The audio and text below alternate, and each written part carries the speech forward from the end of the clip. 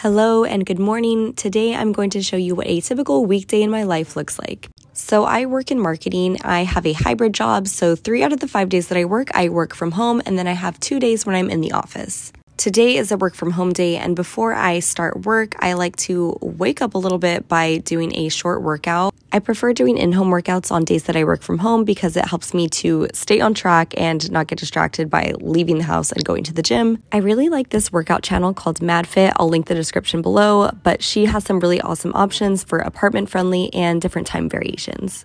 So now it's time for one of my favorite parts of the day, and that is doing my morning skincare routine. After washing my face in the shower, I will start off with this brightening eye cream. You are just supposed to gently pat this around your eyes. Now, my skin is more on the dry side, so I use this hydrating serum from Innisfree. This bottle is huge. I feel like I've been using it for several months. Then I use this moisturizer from Higher Education Skincare. I love the way this pump dispenses the moisturizer and it smells really fresh and natural.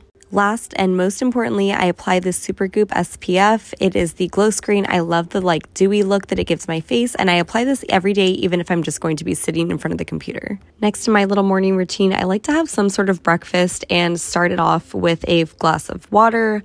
Um, sometimes I'll have like a yogurt bowl, sometimes I'll have a smoothie. Um, today, I'm going to heat up some leftover menudo that my mom made this weekend.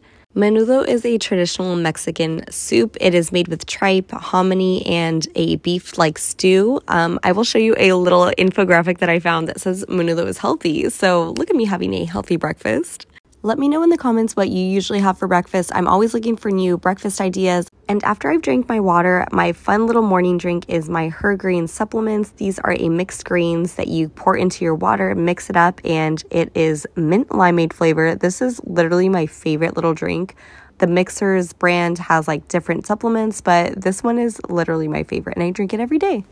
I utilize my living room as my work from home space, so I like to make it kind of nice and cozy while I'm working. So I put on some music, light a candle, and I use this little dinner tray that we got from IKEA as my desk. Right now, I'm working on our 2024 marketing calendar as well as managing some holiday kit influencer campaigns that I put together.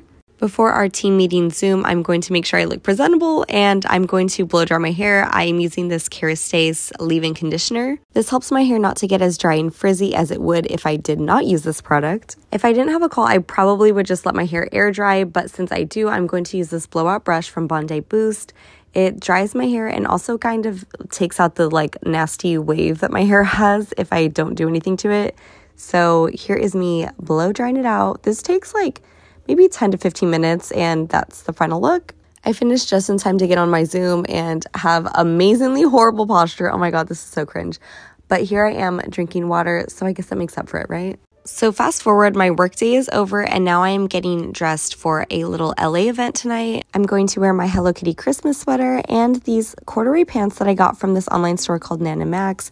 They have a bunch of like cute holiday stuff, and I love these pants because they're straight leg and I feel like they just look cute for the holidays. And I do have a little discount from them, so I will link that in the description below. I met up with my friend Kim at the Wallis in Beverly Hills to see Love Actually live. The songs in Love Actually are so iconic, so to see this as a musical was so cool. I hope you enjoyed getting to see a little behind the scenes of a day in my life, and I will see you next time.